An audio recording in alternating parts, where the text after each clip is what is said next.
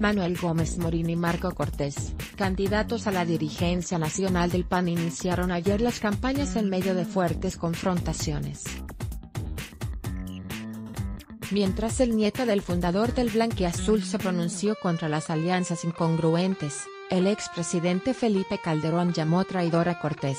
En la colonia Condensa, corazón de la Ciudad de México, el candidato a la dirigencia nacional del PAN, Manuel Gómez se comprometió a acabar con la corrupción, y con las alianzas contra natura al interior del blanquiazul.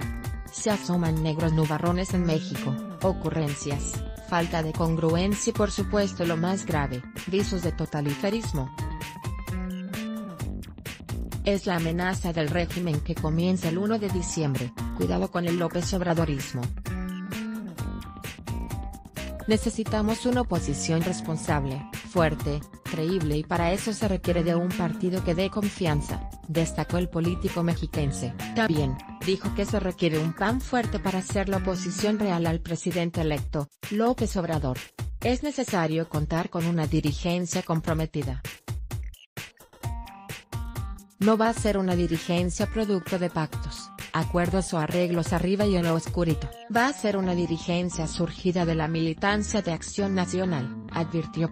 Gómez Morín afirmó que su candidatura no es producto de una negociación con Cortés, y que en su primer evento no se gastó ni dos mil pesos ya que la casa fue prestada y solo invirtió en tacos y refrescos. Marco V.S. Calderón por su parte, el michoacano Mario Cortés inició de forma simultánea su campaña en diferentes plazas con su equipo de trabajo y temprano, durante una entrevista telefónica con Ciro Gómez Leiva el exdiputado criticó la gestión de Ricardo Anaya, lo cual provocó una fuerte reacción del expresidente Felipe Calderón a través de Twitter. No quiero repetir los errores de Ricardo Anaya, en el PAN se mató la democracia entera y se mostró mucha exclusión, afirmó en radio